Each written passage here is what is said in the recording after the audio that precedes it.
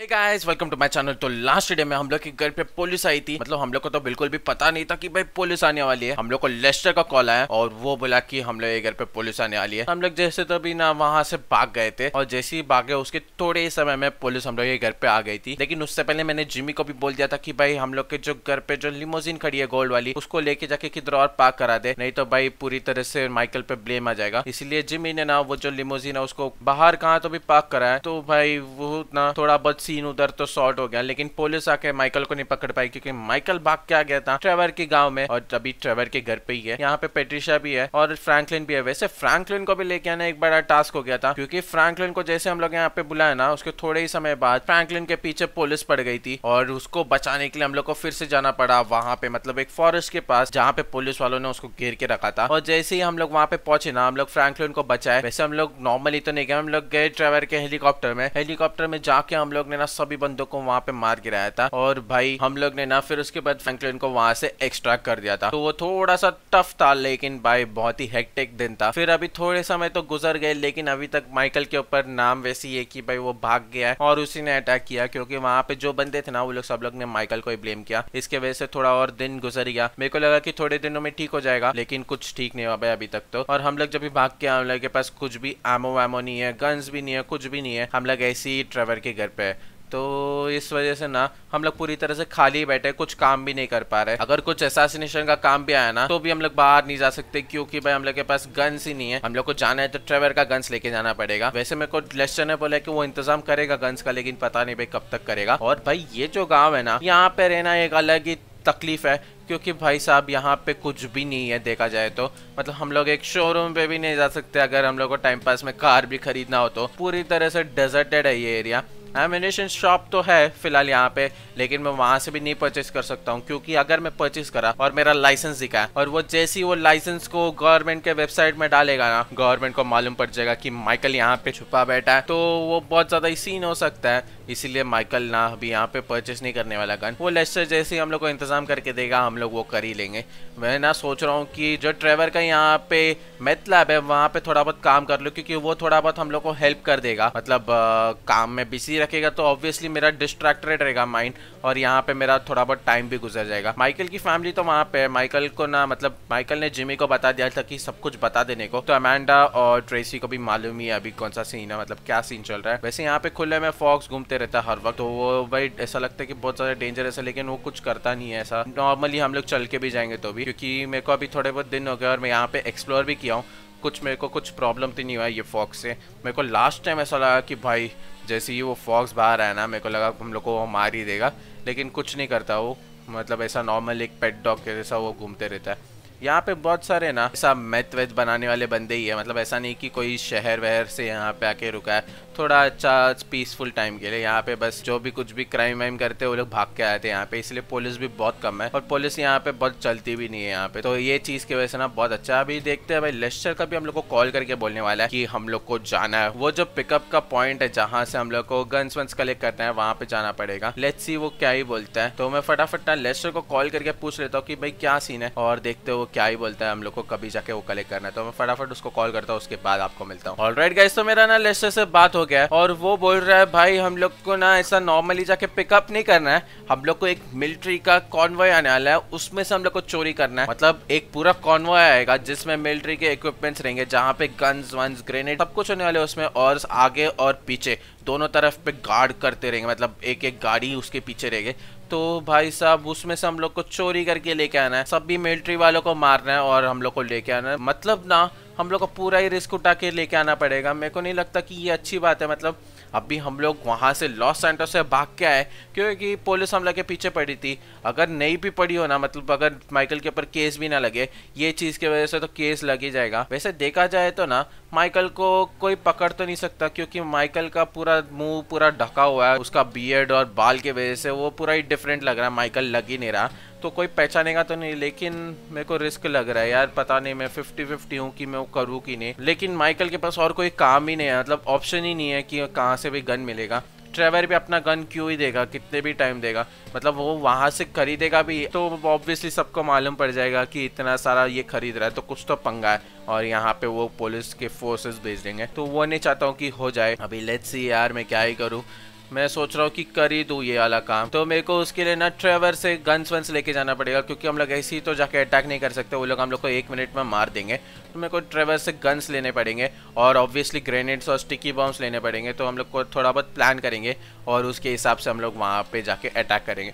तो फटाफट मैं चलता हूँ ट्रेवर के पास, उससे गन्स वंस लेता हूँ स्टिकी बॉम्ब लेता हूँ और फिर पहुँचता हूँ वाले लोकेशन में। देखते भाई वहाँ पर कैसे कॉन्वॉय आने वाले तो फटाफट मैं ये सब करता हूँ और वहाँ पे जाके पहुँचता हूँ, उसके बाद मैं आपको मिलता हूँ। और राइट गाइज़ तो मैं ना यहाँ पे आ गया हूँ। मेरा जो कार है ना, उसको मैं यहाँ पे पार्क कर दिया हूँ। तो फटाफट मेरे को यहाँ पे सेटअप करना पड़ेगा तो मेरे को ये स्टिकी बम लेके यहाँ पे फेंकना पड़ेगा। वेट वेट वेट मेरे को वहाँ पे एक स्पॉट दिख रहा है तो वहाँ पे मैं परफेक्ट फेंक देता हूँ। ओके कूल तो यहाँ पे मैंने ना स्टिकी बम फेंक दिया है। बस गन लेके मेरे को रेडी रहना जब तक ये जो कॉन्वॉय है, वो आता नहीं। जैसे वो कॉन्वॉय आएगा ना, उसके साथ जो गार्ड करता है वो गाड़ी आएगा, उसको हम लोग फोड़ देंगे। और फिर हम लोग के पास पूरा कॉन्वॉय हम लोग के हाथ में रहेगा तो हम लोग खतरनाक वाला उसको कब्जा करके लेके चले जाएँगे हम लोग के यहाँ पे, और हम लोग के पास सभी गन्स हो जाएँगे। वैसे ये जो ट्रेवर का गन है ना, बहुत ज़्यादा खतरनाक लग रहा है। इसमें स्किन्स जो है, बहुत ही सही है। ठीक है, हम लोग तब तक वेट कर लेंगे जब तक कॉन्वॉय नहीं आता, और जैसे ही आता है हम लोग उसको फोड़ेंगे। तो जैसे ही कॉन्वॉय आता है, उसके बाद मैं आपको मिलता हूँ। और रेड गाइस तो ना मेरे को थोड़ा दूर में ना एक कॉन्वॉय आते हुए दिख रहा है, और वो भाई वही है मिलिट्री का कॉन्वॉय है। तो वेट कर लेते हैं। जैसे ही वो गाड़ी, जो पहला वाला गाड़ी है, वो यहाँ पे क्लोज आता है, हम लोग इसको एक्सप्लोर कर देंगे। तो वेट अ सेकेंड हम लोग काउंट डाउन पे करेंगे तो थ्री टू वन ओके हम लोग ने ना उसको मार तो दिया है और यहाँ पे बंदे लोग हैं फ़िलहाल। वो लोग को भी हम लोग को मारना पड़ेगा और भाई साहब, बहुत ज़्यादा मिलिट्री वाले हैं। यहाँ पे वेट वेट वेट वेट मेरे को जल्दी मारना पड़ेगा और एक भी बंदे को हम लोग को छोड़ना नहीं पड़ेगा ताकि यहाँ पे कुछ सीन ना हो। और शायद मैंने सबको मार दिया। हम लोग को ना ये जो एक्सप्लोसिव है, बहुत ज़्यादा ही हेल्प किया, क्योंकि पूरा जो गाड़ी में बंदे लोग थे ना, वो लोग पहले ही मर गए थे और पीछे वाले को हम लोग को डाउन करना पड़ा। तो सही है, पहले हम लोग ना कंफर्म कर लेते, सबके सब डाउन हुए कि नहीं। नहीं तो ये लोग जाके बोल देंगे कि भाई माइकल नहीं मारा है और माइकल ने ही हम लोग को अटैक किया। तो भाई ये नहीं चाहता हूँ कि इतना बड़ा सीन हो जाए। वैसे यहाँ पे ना पुलिस वाले आने से पहले हम लोग यहाँ से भाग जाते हैं। नहीं तो पुलिस वोलिस हम लोग के पीछे पड़ जाएगा ना तो थोड़ा ज़्यादा ही सीन हो जाएगा। तो फटाफट मैं यहाँ पे ये जो कार है मतलब ट्रक है, इसको लेके निकलता हूँ यहाँ से और फिर फटाफट जो ड्राइवर का मतलब है, वहाँ पे जाके ये ट्रक को पार्क कर देता हूँ। मेरे को यू टर्न लेना पड़ेगा यहाँ पे। भाई साहब, ये जो एरिया है ना, बहुत ज़्यादा खतरनाक है यू टर्न के लिए। वेट वेट वेट मेरे को यू टर्न लेना ओके तो यू टर्न तो ले लिया हूँ, लेकिन मेरे को ऐसा लग रहा है कि ये ब्रिज क्रॉस करना थोड़ा टफ होने वाला है। मेरे को ये लोग के ऊपर से चढ़ा के लेके जाना पड़ेगा। और भाई, बहुत ही अजीब था वो लोग के ऊपर चढ़ाना। ठीक है, अभी मैं फटाफट भगाते हुए वहाँ पर जाता हूँ। और भाई ना, यहाँ पर बहुत ज़्यादा ही मतलब ग्रेनेड्स वेनेड्स लग रहे हैं मेरे को। तो मेरे को सेफ़ लेके जाना पड़ेगा, अगर मैं ठोका या कुछ एक्सीडेंट वैक्सीडेंट हुआ तो ये जो ट्रक है ना, पूरी तरह से एक्सप्लोड हो जाएगा। तो देखेंगे हम लोग भी कैसे चलेगा। वैसे भी हम लोग सेफ़ ही चला के लेके जाते हो, शायद मैं अभी पलट ही देता ट्रक को। ठीक है ठीक है, नहीं यार, हम लोग पलटने तो नहीं वाले। अभी मेरे को भगाते हुए लेके जाना है वो मैथलैब में, जहाँ पे हम लोग पार्क करेंगे इसको सेफली और जो भी गन्स वन्स मैं अपने लिए ले लूँगा। और एमोज एमोज भी ले लूँगा। शायद एक दो ग्रेनेड और स्टिकी बॉम्ब्स भी ले लूँगा जो काम पे आएगा। अभी तो मैं ट्रेवर का सब कुछ लेके आया था गन्स वंस तो उसको हम लोग वो भी वापस कर देंगे। और फिर मेरे को वापस जाके मेरा फरारी भी लेके आना वहाँ से। वैसे वो वाले लोकेशन में मैंने फरारी रखा तो कुछ सीन नहीं नहीं नहीं, कुछ नहीं होगा। मैं फटाफट ना फ्रैंकलिन को कॉल करके बोल देता हूँ कि भाई मेरा फरारी लेके आ जाए। तो ना थोड़ा बहुत सेफ़ होगा। तो फ्रैंकलिन को कॉल करता हूँ देखते वो लेके आता है कि नहीं। और राइट गैस तो हम लोग ऑलमोस्ट पहुँच गए और मैंने फ्रैंकलिन को बोल दिया है। वो बोला कि मैं लेके आ जाऊँगा टेंशन मत लो। तो वो जाके लेके आ जाएगा। अभी मेरे को यहाँ से बस निकलना है फटाफट और जब तक लेस्टर नहीं आता तब तक मैं ये खोल भी नहीं सकता। तो उधर जाके मैं मिलता हूँ। और राइट गैस तो ना मैं वेट कर लिया हूँ और फ्रैंकलिन यहाँ पे आ गया कार लेके। मैंने उसको बोला था कि कार लेके आना मतलब मेरा फरारी और वो लेके आ गया यहाँ पे। तो मैं अभी चलता हूँ। मैं यहाँ से जंप मार लूँ क्या? वैसे हम लोग लास्ट टाइम भी जंप मारे थे और कुछ हुआ तो नहीं। तो थ्री टू वन और ओके तो परफेक्ट जंप था। कुछ हम लोग का प्रॉब्लम ही नहीं हुआ। उतना भी हाइट नहीं है इसका।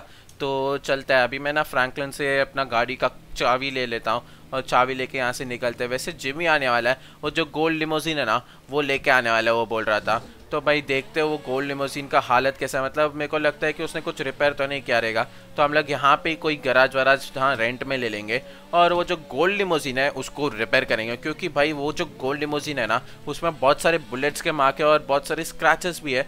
जो मेरे को अभी डॉन हेक्टर को देना वैसे ना डॉन हेक्टर हम लोग से कांटेक्ट भी नहीं किया तो मेरे को समझ में नहीं आ रहा, मैं उसको दूँ कि नहीं बट मेरे को जिमी से वो कार तो यहाँ पे मंगाना पड़ेगा, क्योंकि भाई वो कार आएगा ना, तभी हम लोग जो भी काम है वो सब कर सकते हैं। तो कार को मंगा लेंगे, और साथ में मैं बोलूँगा कि बेनी को भी लेके आ जाए तो क्या यहाँ पे हम लोग कुछ भी एक गराज वराज भी ना मतलब रेंट कर लेंगे, और वो गराज में हम लोग जिमी और बेनी को रख के वो कार को रिपेयर कराता है। मतलब जिमी उसको बस ऊपर से सुपरवाइज करेगा और बेनी पूरा रिपेयर करने वाला क्योंकि जिमी को तो कुछ आता नहीं है रिपेयर रिपेयर पे।